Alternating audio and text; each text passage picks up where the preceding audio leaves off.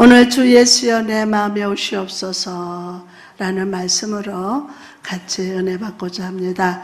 여러분 오늘 본문 속에는 호적을 하기 위해서 요셉과 만삭의 마리아가 베들레헴에 도착한 장면이 기록되어 있습니다.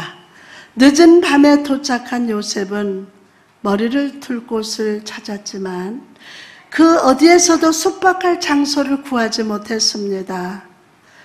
요셉과 마리아가 머물 수 있는 곳은 짐승들에게 짐승들에게나 어울릴 만한 루추한 마구간이 유일한 장소였습니다.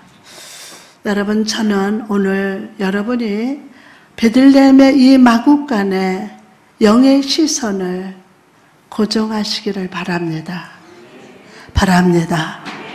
그리고 이 누추한 구유에 누우신 예수 그리스도를 바라보면서 주님이 왜 이렇게 주님이 왜 이렇게 비천한 침상에 누우셨는지를 생각해 보기를 원합니다. 첫 아들을 낳아서 강보로 싸서 구유에 누, 누우셨으니 이는 여간에 있을 곳이 없음이라. 그럼 먼저 우리 주님이 이 마국간에 이 구에 누우신 이유가 무엇일까요? 그 이유 중 첫 번째는 예수의 겸손하심을 보여주시기 위해서입니다. 이사야 선지자는요, 예수님이 이 땅에 오실 것을 예언하면서 이렇게 말했습니다. 사람들에게 멸시를 당하고 거부되었으며 슬픔의 사람이요 고통을 잘 아는 자라 마른 땅에서 나온 뿌리 같아서 고운 모양도 없고 풍채도 없는지라 여러분 예수님이 이 땅에 계실 때 그분의 모습은 어떠했습니까? 그분은 평생도록 일꾼의 복장을 하고 다니셨고 어부들과 함께 하셨어요. 비천한 자들이 그분의 제자들이었고 차가운 산이 그분의 유일한 침대가 되기도 했습니다. 마태복음 8장 20절 말씀 보니까 여우도 굴이 있고 공중의 새도 거쳐갈 시대 인자는 머리 둘 곳이 없다 하시더라. 여러분 오늘 주님은 구위에 겸손으로 누워 계십니다. 자신의 모든 영광을 버리시고 종의 형상을 취하셔서 철저히 낮아지셨어요. 이렇게 겸손히 낮아지신 이유가 무엇입니까? 바로 죄와 사망에 빠진 우리를 하나님의 자녀여, 은혜의 강자여, 축복의 사람으로 높여주기 위함임을 믿으시기 바랍니다. 두 번째로 주님이 구에 누우신 이유는 가난한 자들을 공감해 주시기 위해서입니다. 가난한 자들을 공감해 주기 위해서 주님이 태어나셨을 때 천사들은요 들에서 양을 치던 목자들을 이렇게 선포했습니다. 누가복음 2장 12절 보니까 너희가 가서 강보에 쌓여 구위에 누워 있는 아기를 보리니 이것이 너희에게 표적이니라. 이것이 너희에게 표적이니라. 할렐루야. 그리고 목자들이 우리 주님을 보았을 때 그들은 마음속에서 가장 다정한 형제 같은 아주 친밀한 감정이 뜨겁게 막 올라왔어요. 가난한 사람들은요, 황제의 옷을 입는 사람을 보면서 어떤 동질감이나 매력을 느끼기가 힘듭니다. 그러나 자신들과 같은 옷을 입은 사람을 보면 친근감을 느끼고 신뢰하게 됩니다. 이처럼 왕 대신 주님은 베들레헴 구이에서 태어나시고 어린 시절부터 가난한 자들이 겪는 고통, 슬픔, 염려, 모든 일들을 친히 다 겪으셨어요. 여러분, 주님은 오늘도 심령이 가난하며 세상의 삶으로 지친 여러분의 가장 친한 친구가 되어 주십니다. 아멘. 그분은 가난한 자들의 친구가 되십니다. 그분은 이 세상과 사람들과 사단 앞에서 우리를 위해서 변호해 주시고 우리의 편이 되어 주심을 믿으시기 바랍니다. 사단한테 고통받을 때 여러분의 힘으로는요 절대로 귀신 못 쫓아요. 이 손에 능력이 있다. 내가 축사 능력 받았다. 못 쫓아요. 예수님이 마귀의 일을 멸하라 오셨다. 그 믿음을 가져야 돼요. 그리고 그 믿음으로 사단아 불러가라. 그럴 때 우리 주님이 바쁘게 뛰어오셔서 이놈 불러가 내 딸이야 내 자녀야 가장 중요한 게 하나님을 믿는 믿음이에요 저는 그냥 준비해서 선포만 하지 역사는 오늘 이 말씀 받는 자에게 성령님이 급하게 찾아가신다 그래서 받은 말씀 위에 여러분 심령 위에 기름 부시니까 와, 이 말씀이 생명이 된다. 천재 생명의 역사가 일어납니다. 아멘. 여러분 가난한 마음으로 왔습니까? 여러분 친구가 되어 주십니다. 그분은 이 세상과 사람들과 사단 앞에서 우리를 위해서 표현해 주시고 우리 편이 되어 주십니다. 누구 편? 아예 그 소리를 안 해. 누구 편? 옳지. 전담양 편. 나가서 주님의 구에 두셨다는 것은요, 가장 비천한 사람이라도 그분께 올 수 있도록 초대하시는 거예요. 주님의 초대를 받아서 이 자리에 오신 여러분을 축복합니다. 할렐루야. 우리가 왕의 보좌 앞에 나갈 때는요, 두렵고 떨릴지도 모르지만, 구유에 나갈 때는 전혀 두렵지 않을 것입니다. 이처럼 우리 주님의 은혜 옷자락은요, 그 누구도 만질 수 있도록 길게 만들어져 있습니다. 그분의 손은 어떤 질병이라도 안수해 줄 준비가 되어 있습니다. 그분의 귀는 고통으로 신음하는 소리를 들으시며 그분의 영혼은 태양이 온 땅을 비추듯 모든 영혼에게 궁일의 빛을 비춰주심을 믿으시기 바랍니다. 할렐루야. 그러므로 수고하고 무거운 짐진 여러분이요. 그분께 나가십시오. 상한 심령과 풀이 죽은 여러분이요. 그분께 나갑시다. 그분이 누우신 구유는 여러분이 아무리 만져도 막을 자가 없습니다. 막을 자가 없어요. 무릎 꿇고 하나님의 아들 예수님께 입을 맞추십시오.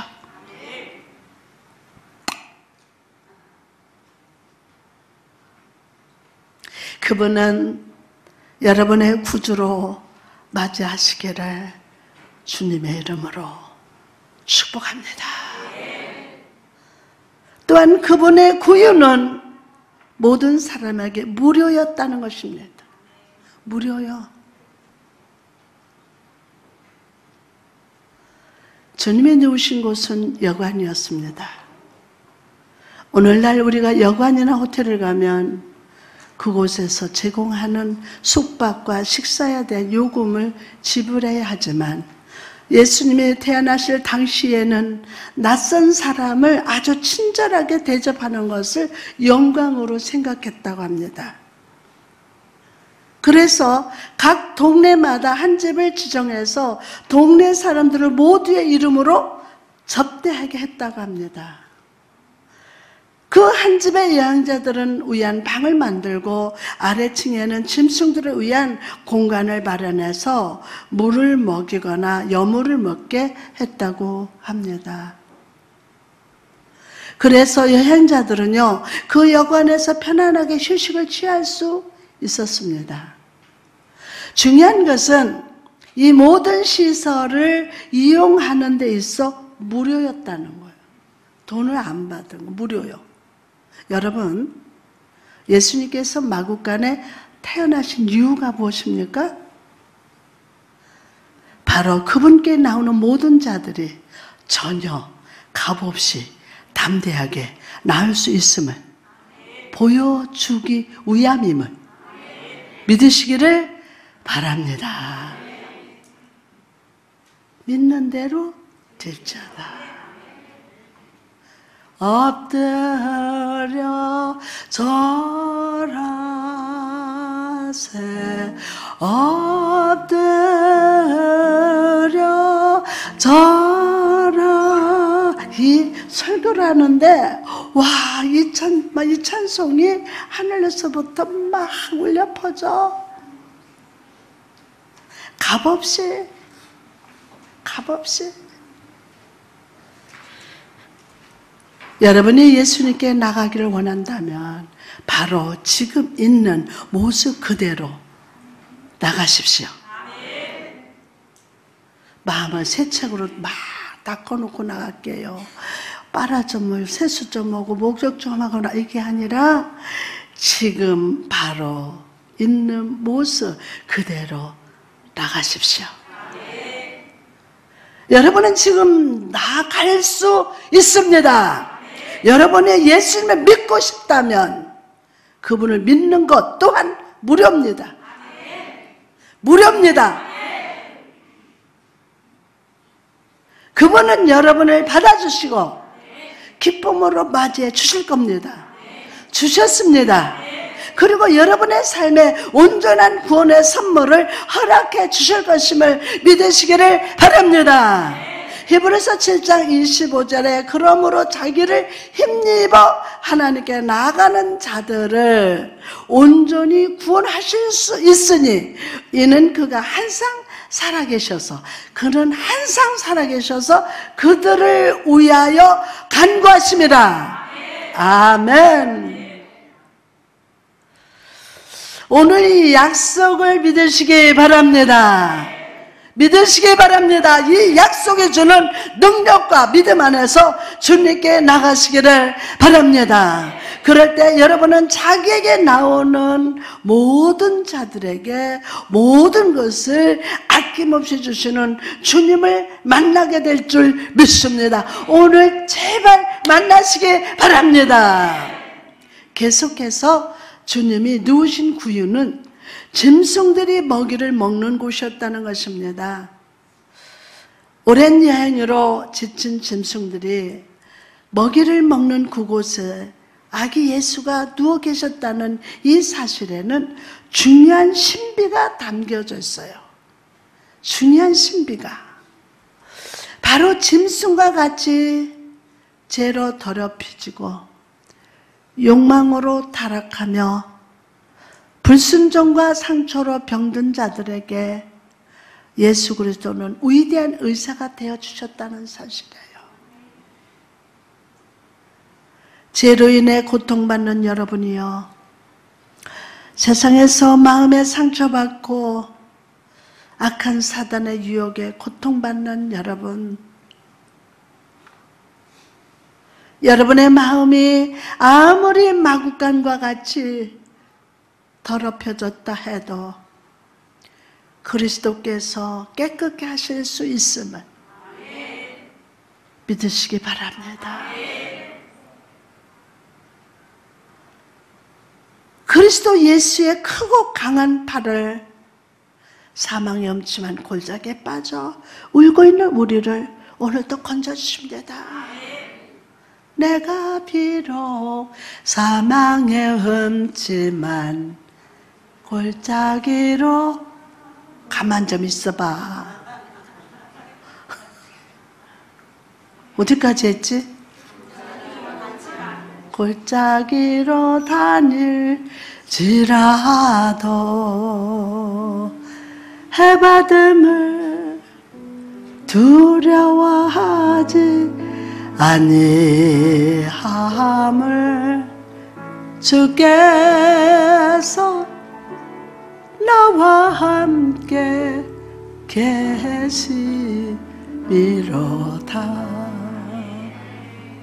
주께서 나와 함께 계시리로다 오늘 주님이 우리를 임마누엘로 찾아오셨습니다. 오늘 군 주님을 바라봅시다. 그분을 환영하시기 바랍니다. 그분께서 오늘 나를 상처에서 절망에서 사망에서 능히 구원하실 것임을 믿음으로 바라봅시다. 그럴 때 주님께서 우리를 주의 지팡이와 막대기로 안위하시고 오늘 주 안에서 새로운 피조물로 회복시켜 주실 줄 믿습니다. 자, 마지막으로 주님이 누우셨던 그 구유는 주님이 떠나가신 후에 다시 짐승들이 먹이를 먹는 곳으로 바뀌었다는 사실이에요.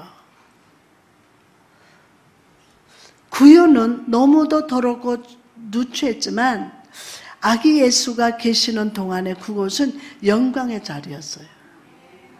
아기 예수가 계시는 동안에는 그곳이 막 영광, 영광. 그 구유를 영광스럽게 하는 것은 오직 그분의 임재가 있었기 때문이라는 거예요. 그러나 요셉과 마리아가 그곳을 떠났을 때 그 구유는 다시 짐승들의 처소로 바뀌게 됐어요.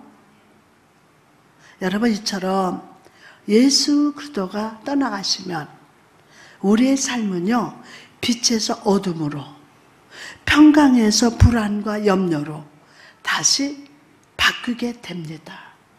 잊지 마십시오. 잊지 마십시오. 주님께서 우리 마음에서 떠나가시면 가장 거룩한 것들이 다시 타락하게 됩니다. 다시 제약과 욕망, 불안과 염려로 들어가게 됩니다. 그러므로 여러분 오늘 이 시간 주님께서 내 삶을 떠나지 마시기를 간구하십시오. 성령 받지 말고 목회하라는 거 이건 저주거든. 성령이 떠나가면은 할 수가 없어요. 이 자리에 서기까지는요 얼마나 심장이 터질 정도로 얼마나 사하는지 아세요? 근 40년을 설교했는데도 이 자리 서는 게 너무 힘들어요. 너무너무. 그래서 성령님을 붙여봐야 돼요. 성령님은 내 안에 오셔야 돼요. 성령님이 역사하셔야 된다고요. 그냥 무의미하게 아멘 하고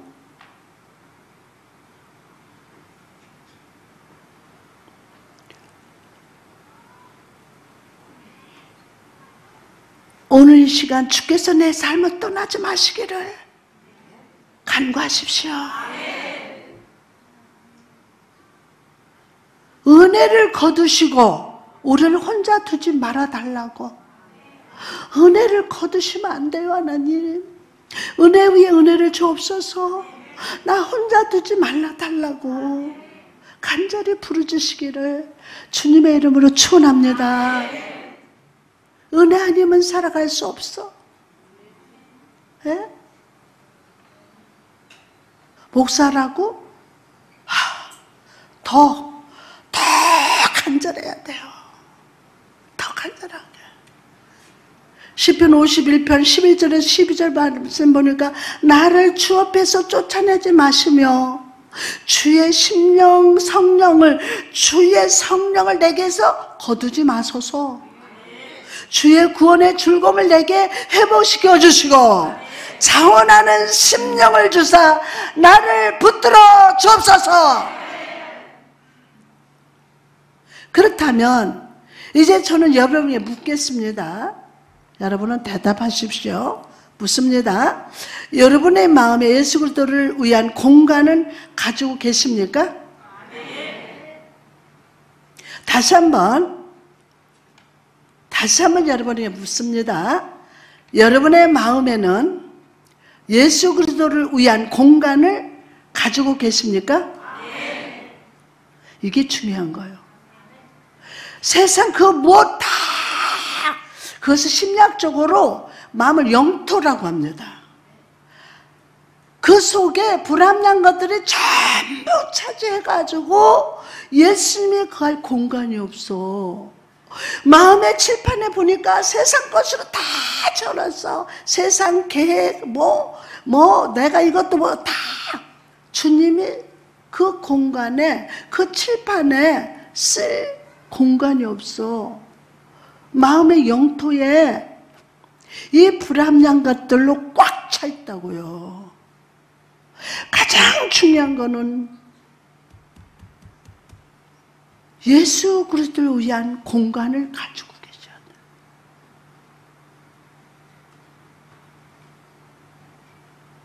돼요. 여러분의 일상생활 속에 주님을 위한 자리가 준비되어 있습니까?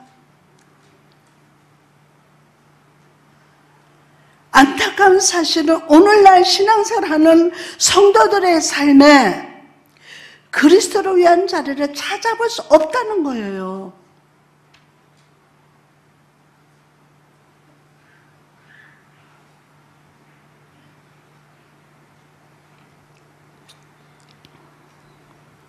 주일날 예배하며 찬양해도 예배를 마친 후에 삶의 자리 돌아가면 그 안에는 주님을 위한 공간이 없어요.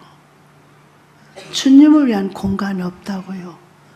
물질을 위한 자리, 내 삶의 목적과 성공, 내 자녀를 위한 자리, 남편과 아내, 가정을 위한 공간은 있지만 예수를 위한 공간 없어요. 회사 가서 일하는 공간, 사업하는 공간, 자기 일의 모든 것이 다 채워졌어요. 요즘은 사람들이요, 교회 가서 제일 원하는 게 가서 편안하게, 하, 이벤트에서 편안하게.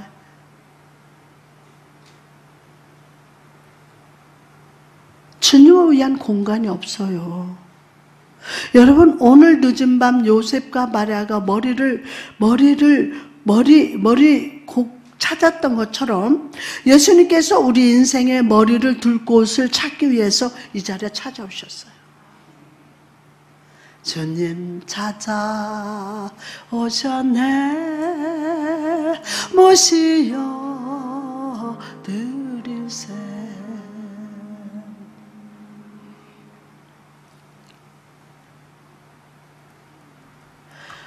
오늘 이 주님을 여러분의 마음에 모셔 드리시기를 간절히 부탁드립니다. 어떤 분은 이렇게 말할지도 모릅니다. 하지만 목사님 제 마음은 너무 작고 비천합니다. 괜찮습니다. 주님이 머무시던 구이도 너무 작고 비천했어요. 목사님, 제 마음은 너무 더럽고 제가 가득하고 마귀 속을 것 같습니다. 그래도 괜찮습니다. 주님께서 머무셨던 구이도 짐승들의 먹이를 먹던 곳이었어요. 여러분의 마음이 어떤 상태인지는 중요하지 않습니다. 중요한 것은 오늘 그 자리를 주님께 내어 드릴 수 있느냐? 내어 드릴 수 있느냐? 하는 거예요. 지금까지 여러분이 어떻게 살았는지, 여러분의 과거에 어떤 죄를 지었는지는 중요하지 않습니다. 그분은 어제까지 우리 과거를 기꺼이 용서하시고 오늘 여러분과 가장 친한 친구가 되어 주실 겁니다. 오늘에 의해서 내일이 있어요. 오늘 하나님 믿습니까? 요한계시록 3장 20절에 볼지어다 내가 문 밖에서 두드리노니 누구든지 내 음성을 듣고 문을 열면 내가 그들에게 들어가 그와 더불어 먹고 그는 나와 더불어 먹으리라. 먹으리라.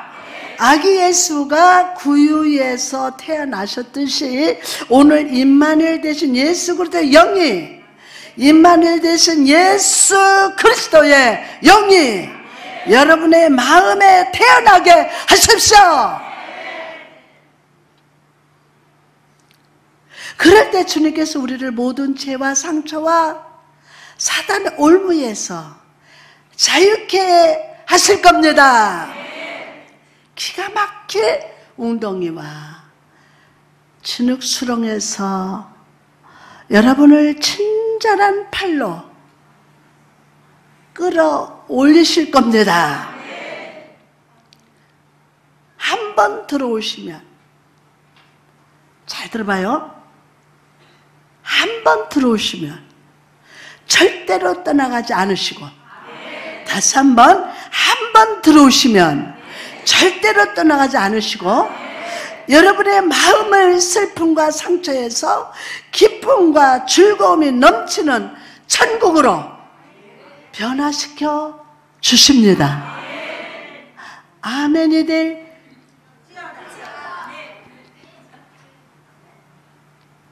얼마나 행복해요. 놀라지도 않아. 그리고 이제부터 영원토록 여러분과 함께 하실 것임을 믿으시기 바랍니다. 여러분, 여러분이 가진 공허감, 무력감, 부족한 사랑, 부족한 선, 부족한 은혜, 이 모든 것이 그분에게는 기꺼이 머무실 자리가 될 수 있습니다. 성령님, 오늘 우리로 하여금 예, 주님, 제 마음은 주님의 것입니다. 내게 오십시오. 라고 고백하게 하옵소서. 여러분, 오늘 여러분의 삶을 주님께 들으셨습니까? 그렇다면 오늘 이후부터는 이 세상에는 여러분을 위한 자리가 없다는 사실을 항상 기억하십시오. 항상 기억하십시오. 오늘 본문이 그들을 위한 곳이 없었기 때문이더라. 라고 말씀하셨기 때문입니다. 아기 예수를 위한 자리도 없을 뿐만이 아니라 요셉과 마리아를 위한 자리도 없었습니다. 여러분 이처럼 마음에 예수를 주인으로 모신 사람에게 이 세상은 그 어떤 실만한 자리도 주지 않을 것입니다. 세상에서 만족을 찾으려 하지 마십시오. 나의 시민권은 하늘에 있음을 알고 뒤에 있는 것은 잊어버리고 앞에 있는 것을 잡으려고 달려가시기 바랍니다. 이 세상에 여러분의 보물을 쌓아 들어가지 마십시오. 왜냐하면 이 세상에서 우리의 보물은 좀이 먹고 독이 슬기 때문입니다.